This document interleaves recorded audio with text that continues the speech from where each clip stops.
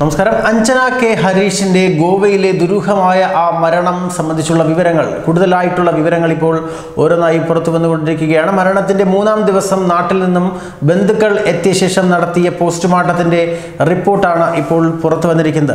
ഈ റിപ്പോർട്ടിൽ ഞെട്ടിക്കുന്ന വിവരങ്ങളാണ് ഉള്ളത് എന്നതാണ് വ്യക്തമാകുന്നത്. പ്രകൃതി വിരുദ്ധമോ അല്ലാതെയോ ഉള്ള ലൈംഗിക പീഡനത്തിനോ അഞ്ജന ഇരയായിട്ടുണ്ട് എന്നാണ് പോസ്റ്റ്മോർട്ടം റിപ്പോർട്ടിൽ വെളിപ്പെട്ടിരിക്കുന്നത്. കൈക്കും കഴുത്തിനും ചുണ്ടിനും ഉള്ള മുറിവുകൾ ബലപ്രയോഗം മൂലം സംഭവിച്ചതാകാം എന്ന് വിശദമായി തന്നെ റിപ്പോർട്ടിൽ പറയുന്നുണ്ട്.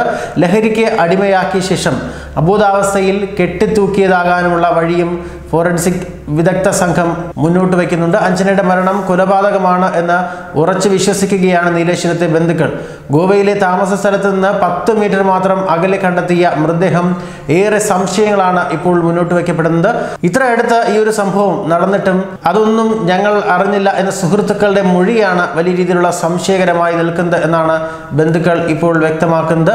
സുഹൃത്തുക്കളായ ആതിര നസീമ ശബരി എന്നിവരാണ് അഞ്ജനയുടെ കൂടെ റിസോർട്ടിൽ ഉണ്ടായിരുന്നത്. അയൽവാസികൾ തൂങ്ങി നിൽക്കുന്ന നിലയിൽ അഞ്ജനയെ കണ്ടപ്പോൾ ജീവൻ ഉണ്ടായിരുന്നു എന്നാണ് പറയുന്നത്. ആശുപത്രിയിൽ എത്തിയപ്പോഴാണ് മരിച്ചത്. സുഹൃത്ത് നസീമയുടെ ഫോണിൽ നിന്നാണ് അഞ്ജന തലേനാൾ അമ്മയെ വിളിച്ചത്. ഞാൻ നാട്ടിലേക്ക് വരുന്നു. അമ്മ പറയുന്നത് പോലെ ജീവിച്ചു കൊള്ളാം എന്നും അഞ്ജന പറഞ്ഞിരുന്നു. ആത്മഹത്യ ചെയ്യാൻ പോകുന്ന മകൾ നാട്ടിലേക്ക് വന്ന് നല്ല രീതിയിൽ ജീവിച്ചു കൊള്ളാമെന്ന് അമ്മയെ വിളിച്ച് പറയുകയില്ലല്ലോ എന്നാണ് ഇപ്പോൾ വീട്ടുകാർ പറയുന്നത്. കൊലപാതകം മൂടിവെക്കാൻ അഞ്ജന ലഹരിക്ക് അടിമയാണ് എന്നും ആത്മഹത്യാ പ്രവണത പലതവണയായി കാണിച്ചിരുന്നുവെന്നും വ്യാജ പ്രചരണം അഴിച്ചുവിടുകയാണ് സുഹൃത്തുക്കൾ എന്നുമാണ് ഇപ്പോൾ ബന്ധുക്കൾ ആരോപിക്കുന്നത്. സത്യസന്ധമായ അന്വേഷണം നടത്തിയാൽ അഞ്ജനയുടെ മരണത്തിന്റെ ഉത്തരവാദികളെ പുറത്തു കൊണ്ടുവരാൻ കഴിയും എന്ന വിശ്വാസത്തിലാണ് ഇപ്പോൾ കുടുംബമുള്ളത്. ഇതിനായി നിയമപോരാട്ടം തുടരാനുള്ള നീക്കവും ബന്ധുക്കൾ ആരംഭിച്ചിട്ടുണ്ട്. അതേസമയം ആത്മഹത്യക്ക് പിന്നിൽ വീട്ടുകാരുടെ പീഡനമാണ് എന്നാണ് സുഹൃത്തുക്കൾ ആരോപിക്കുന്നത്.